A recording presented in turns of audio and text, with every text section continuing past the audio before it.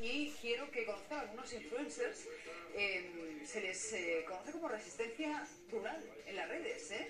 Eh, se han unido también para defender la España rural. Entre todos suman dos millones y medio de seguidores, vean.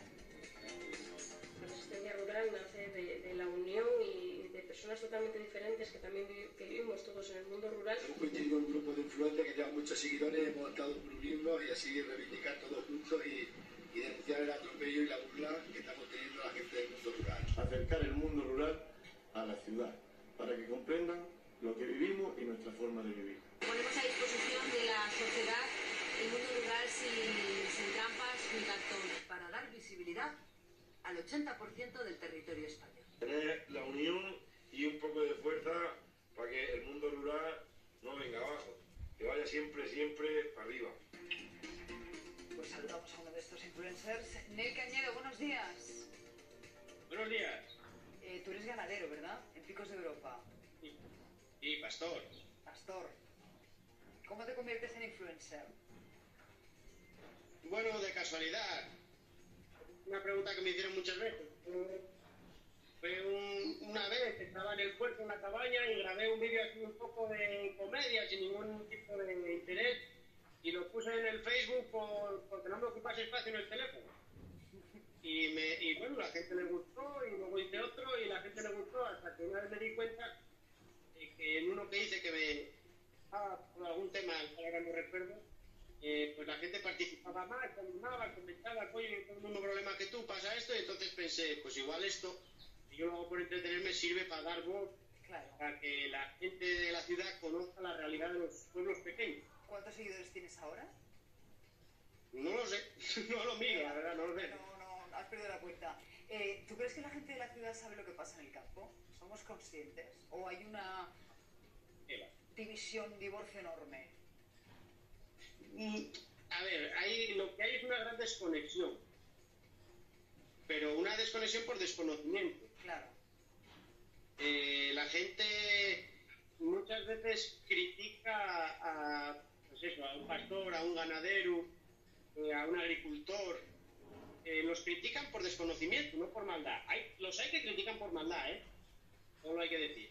Pero el- la mayor parte de la gente lo que tiene es un enorme desconocimiento. Yo me encuentro casos de personas que vienen a mi cabaña o en, o en el pueblo o en el invierno que son totalmente contrarios a, a mi manera de pensar y después de hablar con ellos pues se dan cuenta de que, de que tengo razón, de que, de que la realidad es mucho más complicada de como lo quieren vender determinados sectores de la sociedad. Pero un lo que hay es mucho concreto. ¿A, a qué te refieres exactamente? Por ejemplo, el lobo.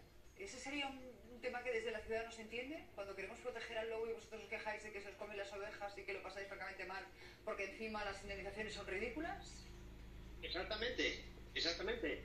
Ellos no entienden, por ejemplo, eh, el tema del lobo eh, es particularmente paradigmático, ¿no? Ellos hablan de que los ataques del lobo se podrían evitar y nosotros tenemos medidas preventivas.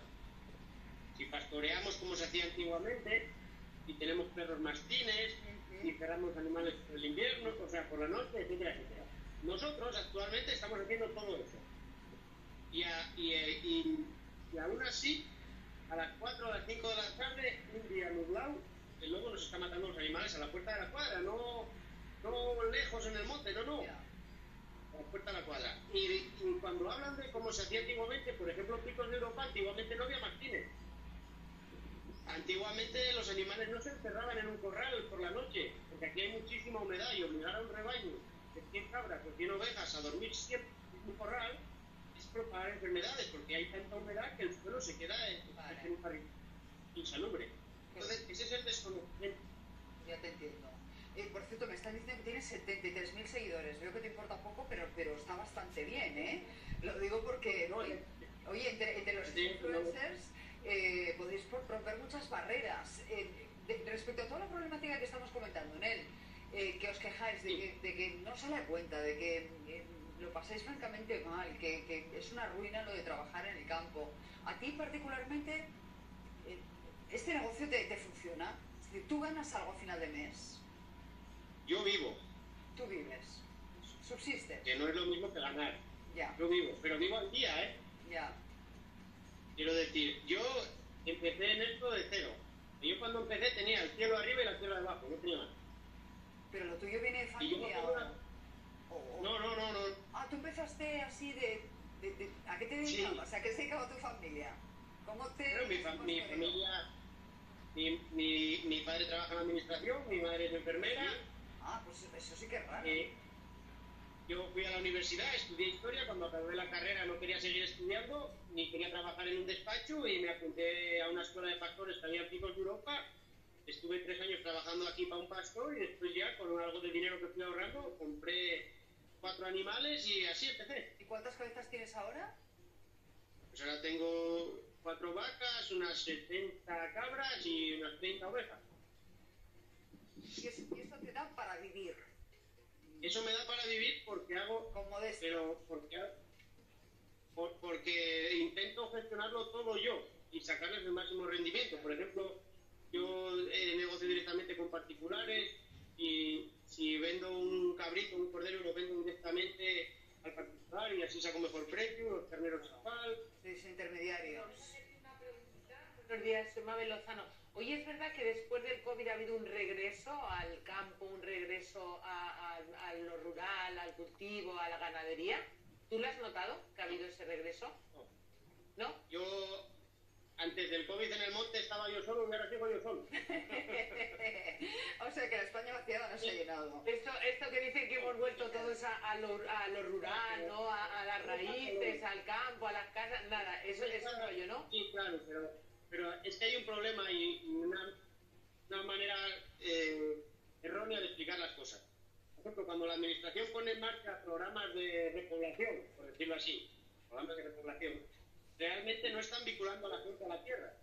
Que sí, das ayudas para que una familia joven se instale en un pueblo y ponga una peluquería, o ponga eh, un telecentro o algo así.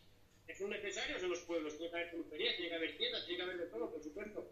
Pero realmente no vinculas la gente al territorio. Eh, lo que haces es traer gente de la ciudad, diputados, una cultura urbana, un poco de conocimiento de la realidad urbano, y el día de mañana a pareja, a un una hija, la van a educar según cultura y sus conocimientos, la van a educar de una manera propia de la ciudad.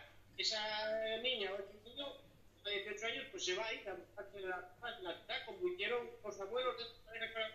Ya.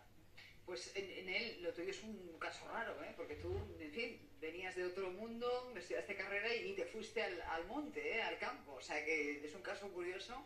Te agradezco mucho que nos hayas atendido y a ver si en la medida de lo posible, bueno, pues este conflicto, esta crisis sirve para que os demos más voz a los influencers de- del campo y de la España vaciada. Con eso, con eso nace, con esa idea nace resistencia rural, porque Claro. todos por separado pues tenemos seguidores, tenemos mucha visibilidad, pero por separado no, no se consigue hacer nada. Claro. Entonces uniéndonos lo que, lo que pretendemos es tener una estrategia conjunta para que el, el- el común de la gente que vive en una ciudad de una vez por todas lo necesario que es el campo en España. Claro.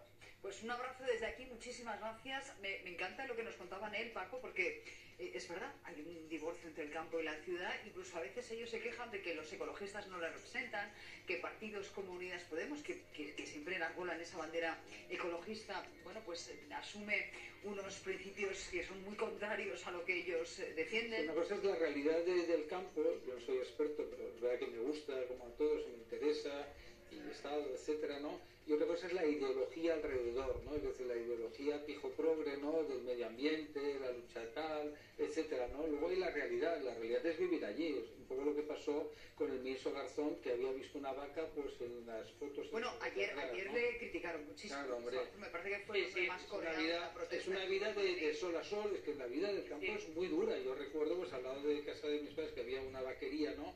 Y entonces, claro, te hablo hace muchos años, ¿no? Y entonces veías lo que es realmente. Luego es muy bonito, la imagen idílica, pastoral, pasando Paco, tu familia se ha dedicado toda la vida a la pescadería. ¿no? Efectivamente, ¿no? Mi Mi abuelo, tiene, sí, sí, tiene, sí, pescadería, bueno, era tenía mi hermano ahora. casa en Barcelona. Y es muy duro. Y yo me dediqué, aunque no la gente no lo sabe, mientras estaba estudiando se me ocurrió